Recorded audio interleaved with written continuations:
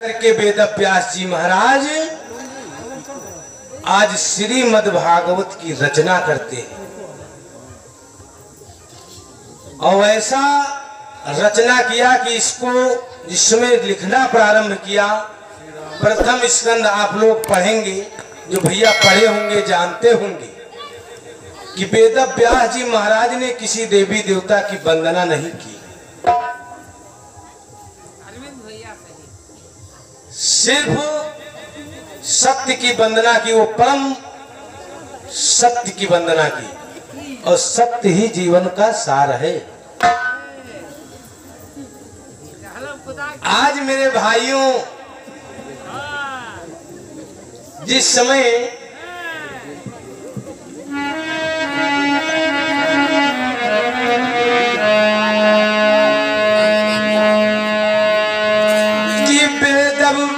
व्यास महाराज है भाई। अरे रच दीना है भागवत पुराण।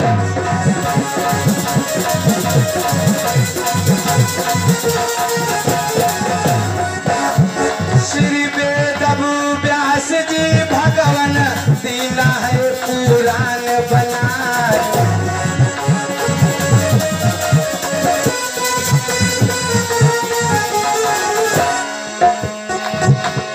मनमा सोच रहे हैं मुनिवर कही का हम यू दे सुनाई।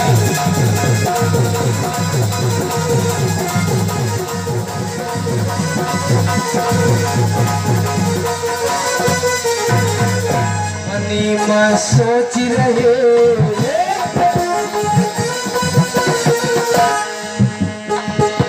मनीमा सोच रहे अरे कहीं तेरी सुनाई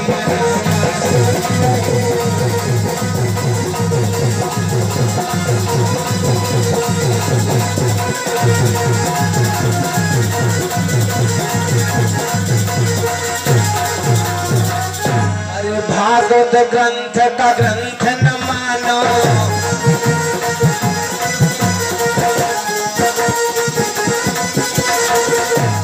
यही का कृष्ण रूप तुम जानो।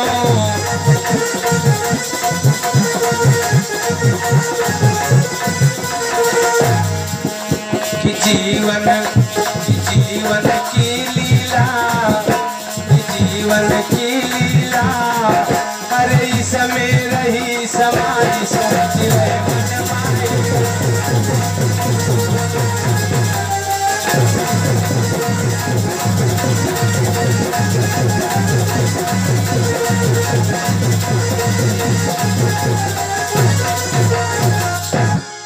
आज जिसमें अठारवा पुराण श्रीमद भागवत महापुराण। का वेद व्यास जी ने आज इसमें रचना किया तो विचार में पड़ गए कि इस पावन अमूल्य निधि को मैं किसे श्रवण कराऊं? सोचने लगे तब तक आकाशवाणी हुई कि ये मुनिवर इस दवा को सिर्फ़ पीने वाला एक ही पुरुष संसार में है। ऐसी है श्रीमद भागवत रूपी दवा संसार में एक आदमी पी सकता वो भी आपका पुत्र सुखद देव जी महाराज। तब वेद जी महाराज कहे जन्मते पैदा होते खन निकल कर रहा कहा ढूंढी जाए? तब नारद जी महाराज ने बताया कि महाराज, जब मैं दासी का पुत्र था, संतों का जमावड़ा बटुरा तो उनकी जिसमें पत्तरों की जूठल हमने खाई तो हमारा चरित्र बदल गया। और हमारे मन में ऐसा विचार आया कि अब हम बाबा जी के साथ भाग जाएँ। नारद बाबा दासी के पुत्र हैं। लेकिन महतारी जाने पैस तो बाबा लोगन के उल्टा सीध बकैला कि हमें लड़का के नो सब सिखा दी अब यू ना रुकी। कहम नहीं है। तब नारद बाबा को बड़ा कलेश हुआ कि लगता है मोह के चक्कर में हमको भक्ति करने को नहीं मिलेगी। तब मनमा विचार आवा कि हमारा महतारी मर जाए तो ठीक है। ऐसा कहना नहीं चाहिए। नारद बाबा कहते हैं वेद व्यास से, कैसा उचित नहीं था, लेकिन हमारे अंतःकरण से निकल गया। तो एक दिन शाम को हमारी माता जी को सर्प ने डस लिया और उनका अंत तो कत्वा हो गया। और मैं उन संतों की सेवा करते करते जिस समय वहाँ पर पत्रों की जोठन करते करते, वही दासी का पुत्र जिस समय वहाँ से चोला त्यागा तो उन संतों की जूठन के खाने से देव ऋषि नारद बन पाया ब्रह्मा का पुत्र। ऐसा है संतों का चरित्र नारद बाबा वेद व्यास को बताते हैं। आज बड़ी चिंता हुई वेद व्यास जी महाराज को कि हमारा पुत्र कहाँ है? श्री सूत जी महाराज से सौनक ऋषि कहते हैं कि स्वामी, हमने सुना है कि सुखदेव जी महाराज जब जंगल जात रहे तो एक सरोवर में कुछ स्त्रियाँ नंगी, नग्न अवस्था में नहा रही थी। और वेद व्यास का लड़का नंगा चला गया, सीधे भागत। कोई प्रभाव नहीं पड़ा उन नारियों पर। लेकिन जब वेद व्यास जी पाछे पाछे जाते रहे, तब उन लड़कियों ने देखा तो अपने अपने वस्त्र ढक लिए।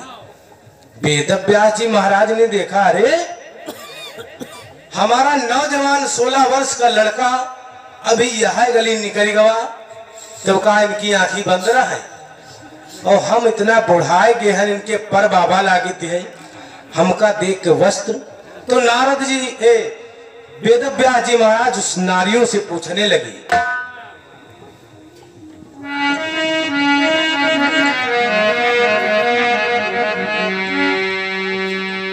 अरे बोले व्यास मुनिवर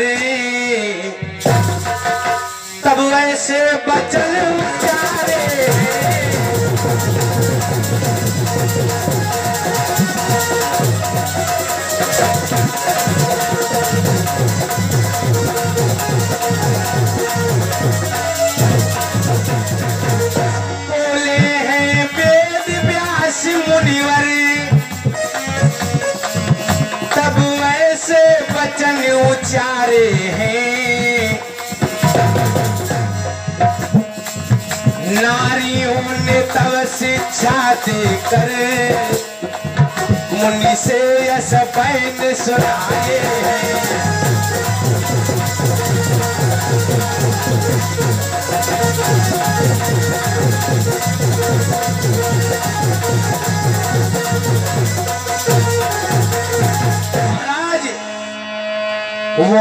परम पुत्र बैरागी है। अरे, जिसको आप 16 वर्ष का लड़का बता रहे उनका यह नहीं मालूम कि आदमी या नहात रहा है कि मेहरुआ ऐसा वो संत है। वो परम जन्म बैरागी है। तुम पीछा करते हो।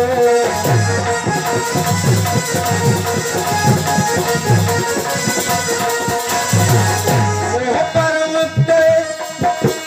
परम जन्म है जिसका तुम पीछा करते हो।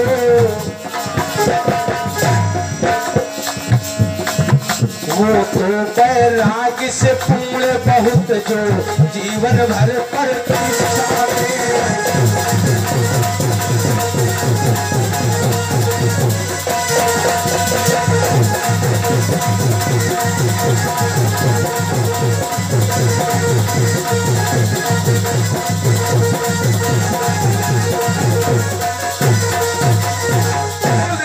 भगवान।